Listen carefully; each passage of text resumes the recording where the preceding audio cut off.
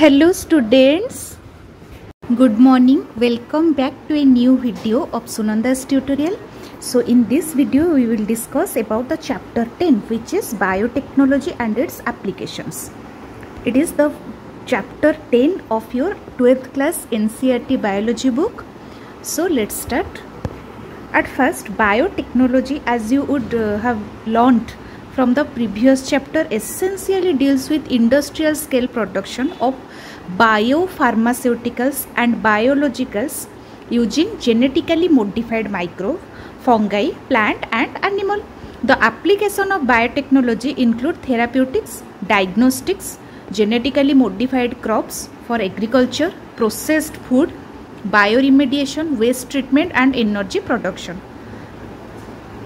Three critical research areas of biotechnology are providing the best catalyst in the form of improved organism, usually a microbe or pure enzyme, creating optimal conditions through engineering for a catalyst to act, downstream processing technology to purify the protein.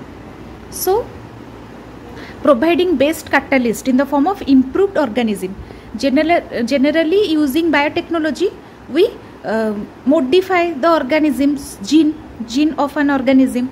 So by that by doing that uh, we provide a best catalyst uh, usually a microbe or pure enzyme which catalyze a process then creating optimal conditions through engineering for a catalyst to act. Op- in optimal condition those microbes or their enzyme will act best the final result of a process or biotechnological process is a product.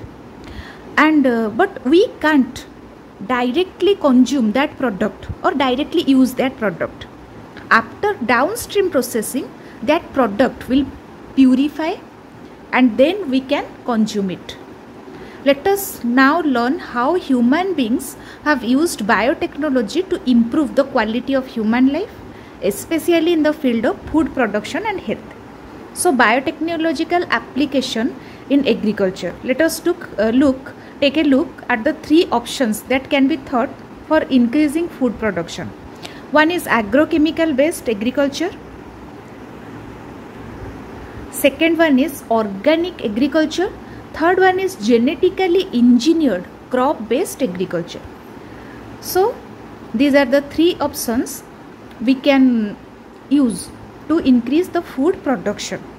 One is agrochemical based agriculture, organic agriculture that means uh, where we can't use the chemical fertilizers then genetically engineered crop based agriculture green evolution green revolution succeeded in tripling the food supply but yet it was not enough to feed the growing human population Increased yields have partly been due to the use of improved crop varieties but mainly due to the use of better management practices and use of agrochemicals like fertilizers and pesticides.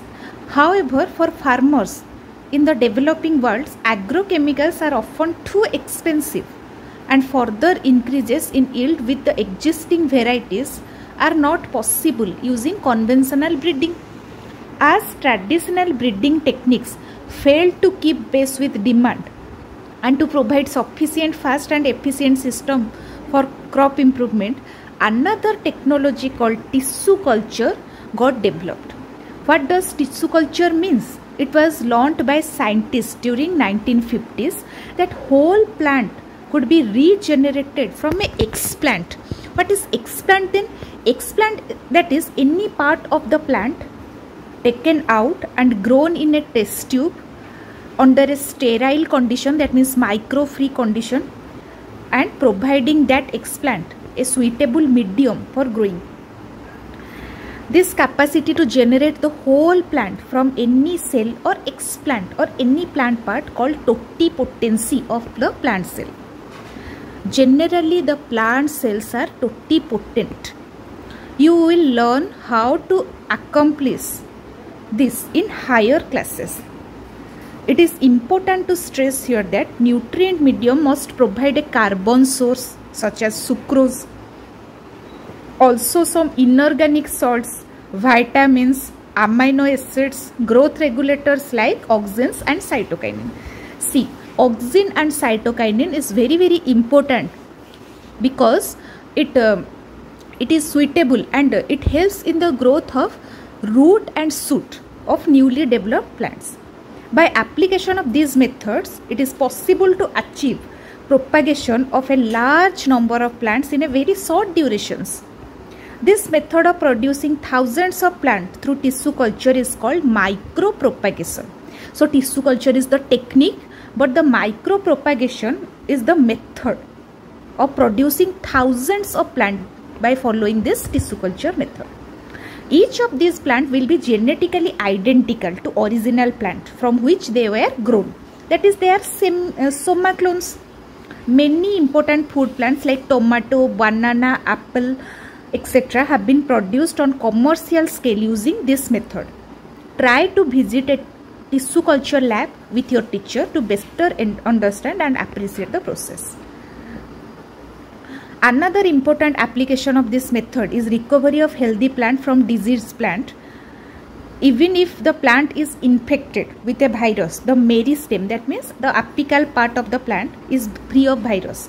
Hence, one can remove that meristem and grow it in in vitro, in lab to obtain a virus-free plant. Then, scientists have have been isolated single cell from plant and uh, after digesting their cell wall using cellulase have been able to isolate naked protoplast. That protoplast means the uh, uh, plant cell devoid of cell wall. Isolated protoplast from two different variety of plant each having desirable characteristics can be fused to get a hybrid protoplast which can be further grown to form a new plant. This hybrid is called the somatic hybrid while the process called somatic hybridization Suppose this is a cell and this is another cell. Cell A and cell B.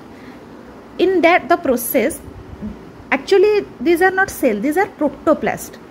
That means cells devoid of the cell wall.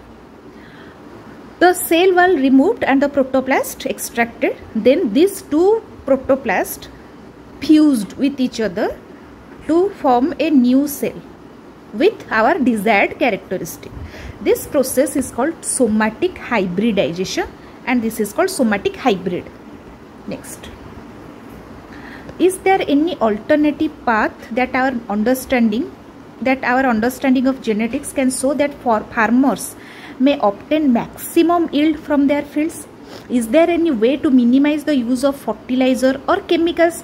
Because uh, it may be beneficial for the plants or crops but it can be harmful for the soil. It can it can cause the soil pollution.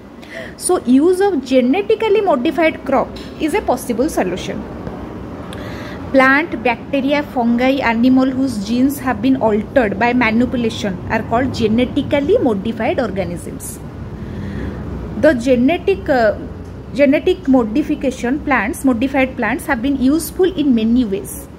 Genetic modifications have has made crop more tolerant to abiotic stress reduced reliance on chemical pesticides help to reduce post harvest losses increased efficiency of mineral uses by plants enhanced nutritional value for example golden rice that is vitamin a enriched rice is a genetically modified crop. In addition to this use, genetically modified, modified organism has been used to create tailor-made plant to supply alternative sources to industries in the form of starches, fuel, pharmaceutical. Some of the applications of biotechnology in agriculture that uh, you will study in details are the production of pest resistant plant which could decrease the amount of pesticides used Bt toxin is produced by the bacterium Bacillus thuringiensis. Bt toxin gene has been cloned from bacteria and in expressed in the plant to provide resistance to gene. That means that gene extracted from that bacteria and inserted in the plant to get the insect resistant plant. So now after creating that insect resistant plant we do not need any insecticides. So what are the examples of uh, these uh, bt crops? Bt cotton bt corn rice tomato potato and soybean. First of all what is bt cotton? Some strains of bacillus thuringiensis produce proteins that kill certain insects such as lepidopterans tobacco, tobacco budworm armyworm coleopterans beetles and diapterans like flies and mosquitoes. Bacillus thuringiensis forms protein crystal during a particular phase of their growth. This crystal contains a toxic insecticidal protein that can kill the insect. So why does uh, this toxin not kill the bacillus itself? Because it is present inside their body and it is a toxin. Actually the Bt toxin protein exists as inactive protoxin. So whenever it is a pro pro insulin pro toxin all are in their inactivate form but once the insect ingest that inactive inactive toxin it is converted into active form of toxin due to alkaline ph of the gut which solubilize the crystals the activated toxin bind to the surface of midgut epithelial cell and create pores that cause the cell swelling and lysis eventually cause the death of that insect. Then specific Bt toxins were isolated from Bacillus thuringiensis and incorporated into several crop plants such as cotton, the choice of genes depends upon the crop and targeted pest as most Bt toxins are insect group specific. The toxin is coded by the gene called CRY 1AC named CRY, gen, CRY genes, a group of gene called CRY gene. This Bt toxin is coded by a group of gene called CRY. There are a number of them, for example, protein encoded by CRY 1AC and CRY 2AB control the cotton bollworm and CRY 1AB control the corn beer, borer, corn borer. This is the picture where uh, the cotton ball is destroyed by bollworm, a fully mature cotton ball which is destroyed by the bollworm. Then pest resistant plant. Several nematodes parasitize a wide variety of plant animal including human beings. A nematode Meloidogyne incognita infects the root of tobacco plant and causes a great reduction in the yield. A novel strategy was adapted to prevent this infestation which was based on the process RNA interference. RNA interference or RNAi takes place in all eukaryotic organisms as a method of cellular defense. This is a method involves silencing of a specific mRNA due to a complementary double-stranded RNA molecule that binds to and prevents the translation of that mRNA. And this is the silencing. The source of the complementary RNA could be from an infection by virus having RNA genome or mobile genetic element or transposon that replicate via a RNA intermediate. Using Agrobacterium uh, tumefaciens vector, uh, nematode specific genes were introduced to host plant. The introduction of DNA was such, uh, such that it produced both sense and antisense RNA in which hosts uh, in which in the host cell these two RNAs being complementary to each other formed a double-stranded DNA that initiated RNA silencing or RNA interference and silenced a specific mRNA of that nematode. The consequence that uh, the parasite could not survive in a transgenic host expressing specific interfering RNA. Then biotechnological application in medicine. At first the genetically engineered insulin management of adult uh, onset diabetes is possibly by taking insulin at regular time interval. What would a diabetic patient do if enough human insulin was not available? If you discuss this you would soon realize that one would have to isolate and use insulin from other animal. Would the insulin isolated from other animals be just effective as that secreted by human body itself and would it not elicit an immune response in the human body now imagine if bacterium were available that could make human insulin suddenly the whole process becomes so simple. You can easily grow large quantity of bacteria and make insulin as you need. Think about whether insulin can be orally administered to diabetic people or not and why. Insulin used by diabetes used for diabetes was earlier extracted from pancreas of slaughtered cattle and pigs. Insulin from the animal source though caused some patients to, patients to develop allergy or other types of reaction to foreign protein. Insulin consists of two short polypeptide chains. One is chain A and B that are linked together by disulfide bridges.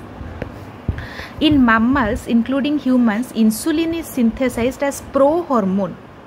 Like proenzyme, the prohormone also needs to be processed before it become fully mature and functional, which contains an extra stretch called C-peptide. This C-peptide is not present in mature insulin and removed during the maturation process. The main challenge for production of insulin using rDNA technique was getting insulin assembled into matured form.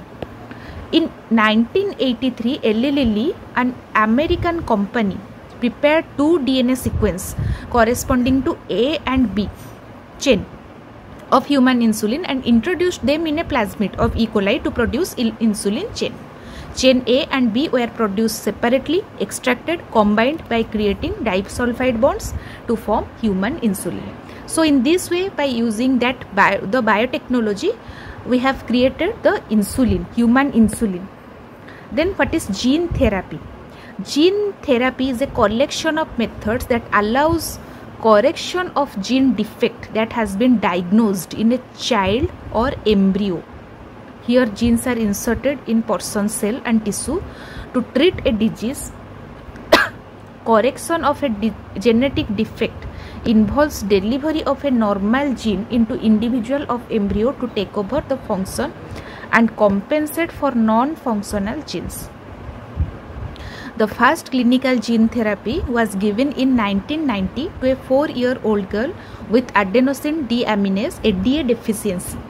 This enzyme is crucial for immune system to function. The disorder is caused due to deletion of the gene for adenosine deaminase. In some children, ADA deficiency can be cured by bone marrow transplantation and in other it can be treated by enzyme replacement therapy in which the functional uh, adenosine deaminase is given to the patient by injection. But the problem with both of these approaches that they are not completely curative. As a first step towards gene therapy, lymphocytes from blood of the patient are grown in culture outside the body functional AD or C, uh, ADA-cDNA is then introduced into those lymphocytes which are subsequently returned to the patient. However, these as these cells are not immortal, the patient requires periodic infusion of genetically engineered lymphocytes. However, if the gene isolate from bone marrow cell producing ADA is introduced to cells at early embryonic stage, it could be a permanent cure. Then what is molecular diagnosis? You know that effective treatment for a disease, early diagnosis and understanding its pathophysiology is very very important. Using conventional or traditional methods of diagnosis using serum and urine analysis, early detection is not possible recombinant DNA technology, polymerase chain reaction, enzyme linked immunosorbent assay are some of the techniques that serve the purpose of early diagnosis. Presence of pathogen. Pathogen means the microbe that can cause a disease is normally suspected only when pathogen has produced a disease symptom. By this time the concentration of pathogen is already very high in the blood. However, very low concentration of bacteria and virus can be detected by amplification of their nucleic acid by PCR.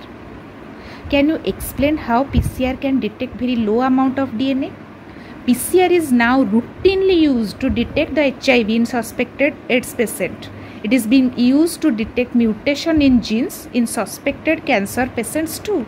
It is powerful technique to identify many other genetic disorders single stranded DNA or RNA tagged with radioactive molecule or probe is allowed to hybridize to its complementary DNA in a clone of cells followed by detection using autoradiography. The clone having the mutated gene will hence not appear on photographic film because the probe will not have, have any complementary with mutated gene. ELISA is based on the principle of antigen antibody interaction.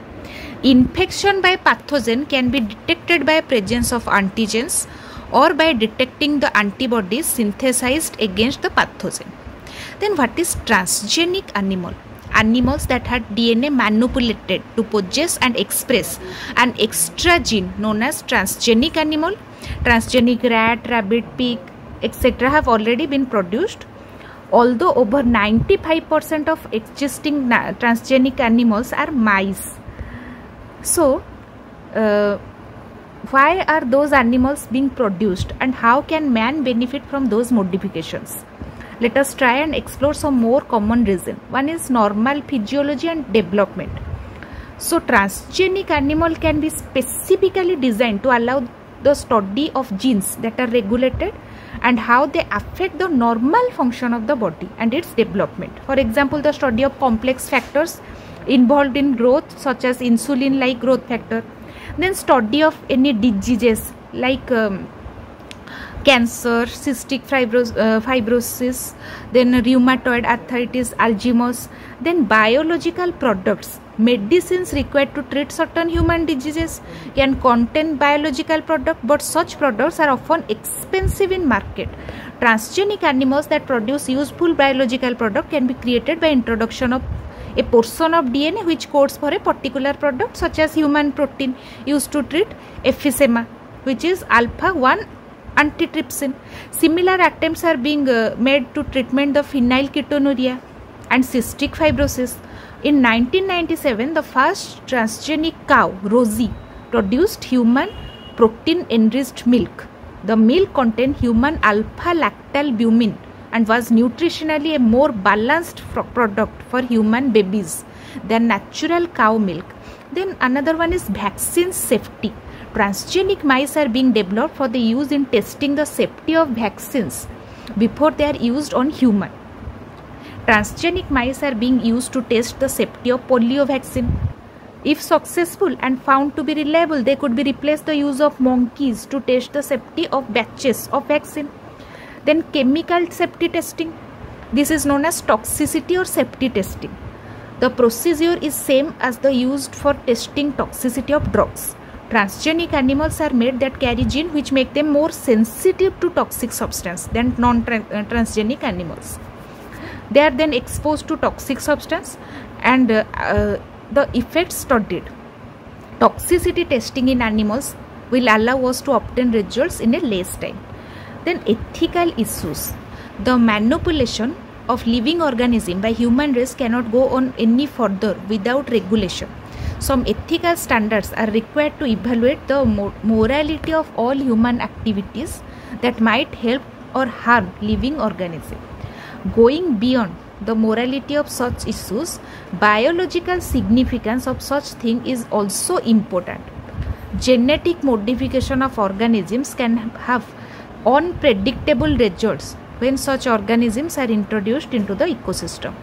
Therefore, Indian government has set up organizations such as GESC that is Genetic Engineering Approval Committee which will make decision regarding the validity of GM or genetically modified research and safety of introducing any genetically modified organism for the public service then modification and usage of living organism for public service has also created problem with patient granted for the same.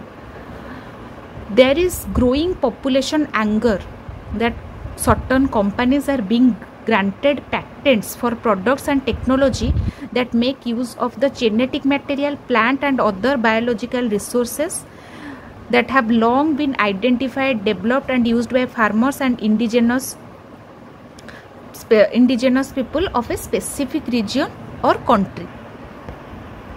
Then rice is an important food grain and uh, the presence of which goes back to thousands of years of Asia's agricultural hi history. There is an estimated that 2 lakh variety of rice is present in India alone. The diversity of rice in India is one of the richest in the world basmati rice basmati rice is the distinct for the its unique aroma and flavor and 27 documented variety of basmati are grown in india there is reference to basmati in ancient text folklore and poetry as it has been grown for centuries in 1997 american company got the patent rights on basmati rice though uh, through the us patent and the trademark office this allowed the company to sell a new variety of basmati rice in US and abroad. This new variety of basmati had actually been derived from uh, derived from Indian farmers variety. Indian basmati was crossed with semi-dwarf variety and claimed as an invention uh, or a nobility. The patent extends to functional equivalents, implying that other people selling basmati rice could be restricted by the patent. Several attempts have also been made to patent UGS products and processes based on Indian traditional herbal medicine, for example, turmeric and neem. If we are not uh, vigilant and we do not immediate counter these patent applications, other countries and or individuals may encash our uh, on our rich legacy and we may not able to do anything about it then what is biopiracy? It is the term used to refer the use of bioresources by multinational companies and other organizations without proper authorization from the country and people concerned without compensation and people concerned and without the compensatory payment. So it is all about your chapter biotechnology and its applications in various fields i hope you really enjoyed this session and uh, get benefit of it. And please stay tuned to get more videos like this. In my next video i will discuss another important chapter of your ncert biology book. So please uh, like share with other and subscribe to my channel sunanda's tutorial. Thank you